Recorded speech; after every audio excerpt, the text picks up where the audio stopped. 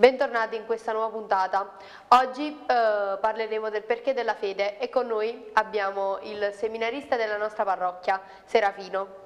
Serafino, noi siamo felici di averti qui oggi e siamo molto curiosi di sapere come è arrivata questa vocazione, quindi come è arrivata il desiderio di entrare in seminario per esempio.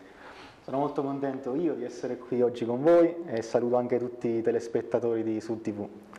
E, prima della vocazione facevo un po' le cose che fate voi ogni giorno, quindi andavo a scuola, eh, frequentavo l'oratorio, la messa la domenica, eh, però non avevo mai pensato di entrare in seminario, di fare questo percorso particolare.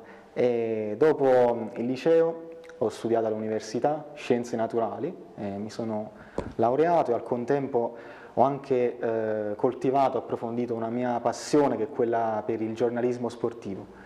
E infatti per anni ho scritto per, alcuni, per, alcune testate giornalistiche, andavo nei campi di calcio, commentavo le partite, intervistavo i giocatori, gli allenatori, eh, cose che mi piacciono ancora adesso.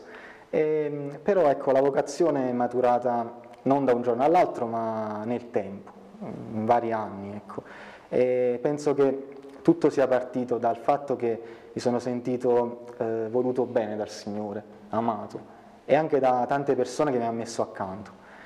E, mh, proprio dalla relazione di amicizia con Gesù, soprattutto nei sacramenti, nella confessione, nella comunione, è nato in me questo desiderio, questa chiamata ecco, di ehm, vivere più vicino a Lui e eh, spendere ecco, la mia vita per, per, il Signore e per gli altri, che poi è anche la vocazione propria del sacerdote, che non diventa sacerdote per se stesso, ma è un uomo di Dio per gli altri.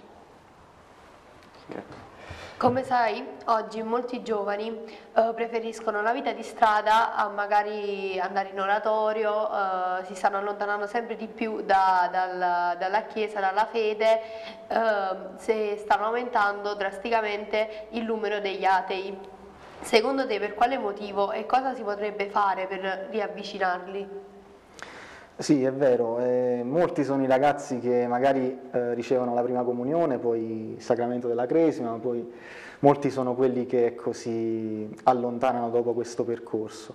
E, ehm, allora penso che uno dei problemi forse sia questo, che eh, i ragazzi eh, vedono un po' l'incontro del catechismo un po' come un incontro solo eh, nozionistico, quindi eh, vanno lì per imparare delle cose e anche alla messa lo vedono un po' come un obbligo e di conseguenza dopo un po' di tempo si allontanano. E penso che sì, è molto importante ecco, tutto il lavoro del catechismo, il lavoro nozionistico, dell'imparare eh, ecco, i fondamenti della nostra fede, però è anche molto molto importante che i ragazzi facciano ehm, un'esperienza dell'amore del Signore. E penso che eh, in questo gioca un ruolo importante l'oratorio, eh, perché? Ecco, l'oratorio eh, se funziona bene eh, diventa quel punto di riferimento per una parrocchia, per un quartiere, eh, diventa ecco, un punto di riferimento soprattutto educativo per i ragazzi.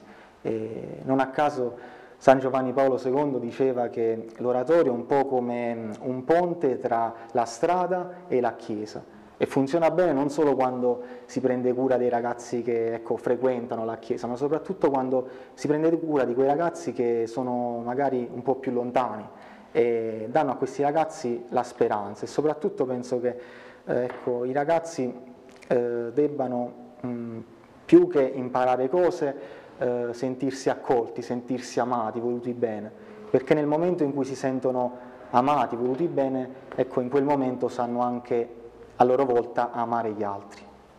Esatto, grazie Serafino per averci accompagnato in questa puntata, grazie anche grazie. a voi per averci ascoltato, grazie. ci vediamo alla prossima, oggi abbiamo Don Luigi che vogliamo augurare i più cari auguri del Natale.